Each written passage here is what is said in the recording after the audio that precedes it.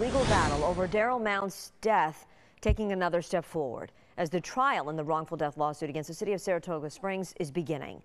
It started the case in August of 2013 when Mount pushed his girlfriend against a wall, according to authorities, and four officers who were in the area started to pursue him. Mount ended up in an alley behind a construction area.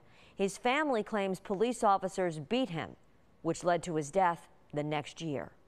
We know he was beaten because we're also going to demonstrate that the type of injuries sustained are from a beating, a strike, a punch.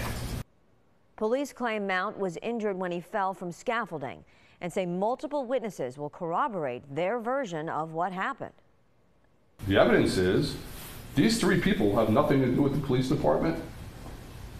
All of them did not see the police in the alley in such a way that they were there before Darryl Mount came to land on the ground, however that was. Mount's family seeking an unspecified amount of money and damages. The case will be decided by six jurors who were seated Monday.